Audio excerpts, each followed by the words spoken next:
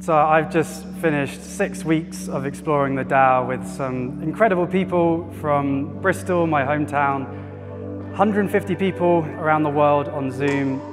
I shift my weight onto the opposite foot. I've felt very blessed and privileged to be exploring. So exciting to connect with you and all you wonderful people. I really loved learning with George. I think he's a really creative teacher. It adapts, it's flexible. It was a fun and supportive, community based way to start to explore uh, the benefits of movement. Be silly, challenge yourself. Even though we weren't in the same room, it's amazing the sense of community that you can get.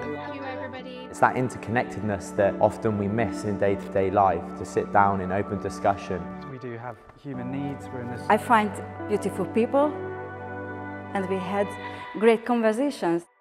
I feel like we're part of a movement that is beginning to learn about ourselves, to wake up to who we really are, and yeah, it's really exciting and holding on to this movement that we can share together, connected all around the world.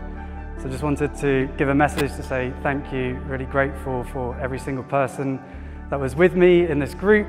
And yeah, here's to future exploration. Can't wait.